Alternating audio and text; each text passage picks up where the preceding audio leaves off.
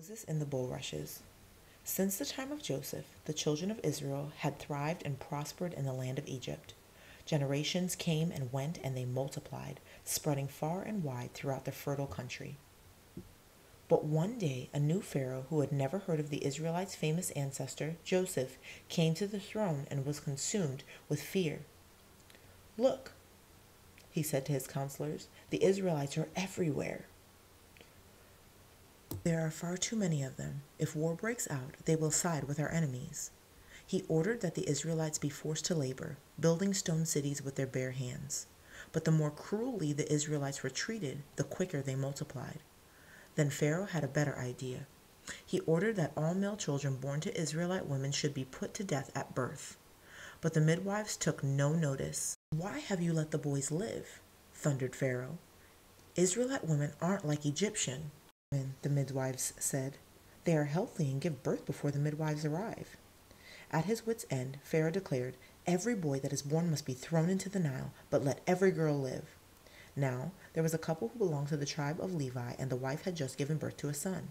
She could not bring herself to comply with Pharaoh's cold blooded order, and for three months she hid her baby son at home. But as the infant grew bigger and noisier, it became impossible. So she fetched a basket and made it watertight. Then she laid her baby in it and took it to the banks of the Nile, hiding it in the bulrushes. Her young daughter went with her to keep watch. Pharaoh's daughter came to bathe in the river and caught sight of the basket. She sent a maid to fetch it, and as she lifted the cover, the baby whimpered sweetly and her heart melted. It must be one of those poor Israelite babies, she said. At that moment, the baby sister asked innocently, Shall I get one of the Israelite women to nurse the baby for you? Pharaoh's daughter agreed, so the baby up by his real mother, and when he grew older, Pharaoh's daughter adopted him as her own.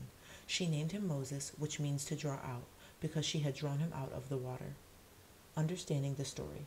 The birth of Moses came almost 300 years after Joseph's death during a period in which the Israelite population expanded greatly. The Pharaoh feels under threat from the Israelites and is determined to destroy them. It is the Pharaoh's daughter who rescues and raises the baby boy. Moses will go on to lead the Israelites and save them from slavery. Now we're going back to page 62. Victory steles. Steles were upright slabs crafted to commemorate special events.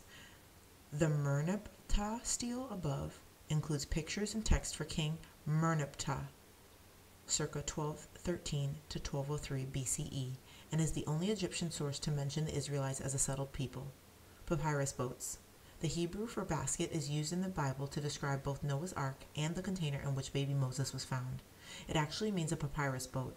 Small boats made of strong reeds were used to transport people and goods on the Nile River.